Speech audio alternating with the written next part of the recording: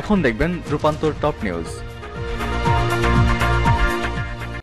প্রধানমন্ত্রী শেখ হাসিনা বলেছেন, ঐতিহাসিক ছয় দফা বঙ্গবন্ধু শেখ মুজিবুর রহমান কর্তৃক উত্থাপিত হয়েছে। রাজনৈতিক দল নিবন্ধন আইনের বিরোধিতা করে আবারও নোট অব ডিসেন্ট দিয়েছেন নির্বাচন কমিশনার মাহবুব তালুকদার।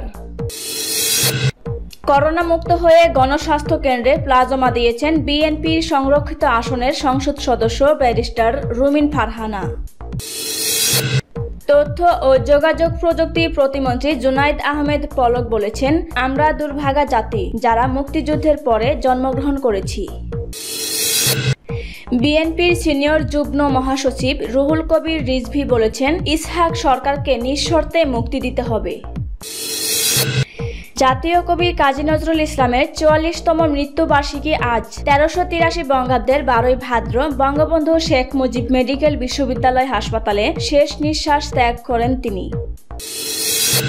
চট্টগ্রাম নগরীর খুলশি থানাধীন সুপারশপ খুলশি মার্টকে জরিমানা করেছেন জেলা প্রশাসনের নির্বাহী ম্যাজিস্ট্রেট মোহাম্মদ আলী হাসান।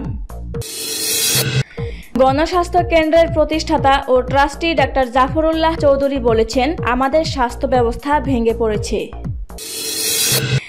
ডাক্তার সাবরিনা চৌধুরীকে দুটি জাতীয় পরিচয়পত্র দিলে তার বিরুদ্ধে ব্যবস্থা নেওয়া হবে বলে জানিয়েছেন সিনিয়র সচিব মোহাম্মদ আলমগীর। মহামারী করোনার কারণে আসন্ন দুর্গাপূজা উদযাপনে ছাব্বিশটি নির্দেশনা দিয়েছে বাংলাদেশ পূজা উদযাপন পরিষদের কেন্দ্রীয় কমিটি।